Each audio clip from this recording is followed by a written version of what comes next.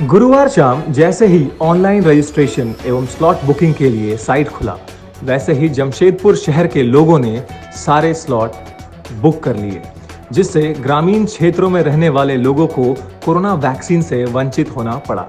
14 मई 2021 को प्रोजेक्ट बालिका स्कूल में कोटका में, यहाँ 18 वर्ष से लेकर के 44 वर्ष तक के लोगों में वैक्सीनेशन देना था। इसके लिए हमारी तैयारी एक दिन पहले से ही हो चुकी थी। यहाँ दो टीमों का विभाजन किया गया था। टीम वन, टीम टू और एक रिज़र्व टीम भी थी। और टीम वन में जहाँ पुरुषों को वैक्सीनेशन लगना है, टीम टू में महिलाओं का वैक्सीनेशन लग रहा था और एक रिज़र्व टीम भी हमारे यहाँ कार्य कर रही है। और यहाँ टीकाकरण से पहले जो है रैपिड एंटीजन टेस्टिंग भी किया जा रहा है ताकि कोई भी व्यक्ति जो पॉजिटिव हो, उसको कोरोना वैक्सीन ना लगे। तो जिसके लिए सबका टेस्टिंग किया जा रहा है अभी 12 बज रहे हैं और 12 बजे तक लगभग हम लोग हमारा दिया गया टारगेट जो था वो 200 था। दिए गए टारगेट के अनुसार उसके अनुपात में हम लोग अभी 148 का वैक्सीनेशन हो चुका है। और आशा करते हैं कि जल्दी हम लोग अपना टारगेट भी पूरा कर लेंगे।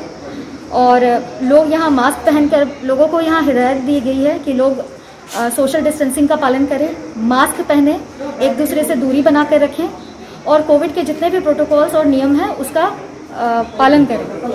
और शांति तरीके से यहाँ पे कोविड वैक्सीनेशन का कार्य चल रहा है। सुचारू तरीके से सारा कार्य हो रहा है। ग्रामीण लोग के बीच में और ग्रामीणों के बीच में जागरूकता फैल रही है और फैलने की आवश्यकता है ताकि दूसरी बार जब वैक्सीनेशन हो, और ज़्यादा लोग जो है, ग्रामीण के लोग जो हैं, वो वैक्सीनेटेड हों। ये है कि ये ग्रामीण क्षेत्र है। ग्रामीण क्षेत्र के लोगों को, बहुतों को पता ही नहीं है कि कैसे इसको बुक किया जाता है इसको। इसमें हुआ क्या है कि रजिस्ट्रेशन तो बहुत कोई करके रख लिया था, लेकिन उसको बुकिंग करना पड़ता जैसे स्लॉट खुलता है, उसके बाद उसको बुकिंग होता है उसमें। लेकिन बहुत कोई क्या हो कि रजिस्ट्रेशन किया हो बुकिंग नहीं किया है तो उसका हुआ नहीं है। इसमें हुआ क्या है कि बाहर का आदमी, जमशेदपुर का आदमी, है, जहाँ देखा कि खाली है, वो लोग बुक कर लिए हैं।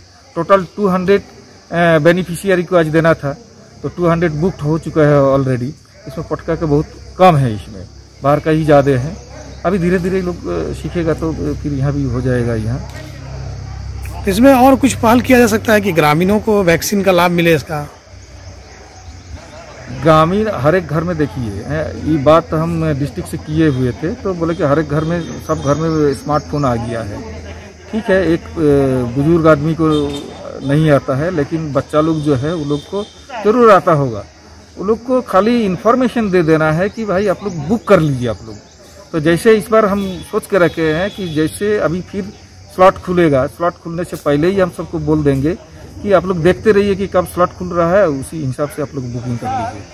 तो ऐसा देखा जा रहा है कि 95 परसेंट जमशेदपुर से लोग आ रहे हैं तो क्यों ग्रामीण क्षेत्र में इतना कम क्यों देखा जा रहा है? जागरूकता नहीं है ग्रामीण क्षेत्र में?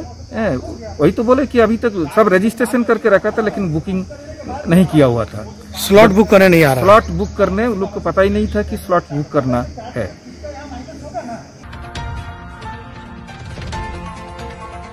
स्वदेश वाणी।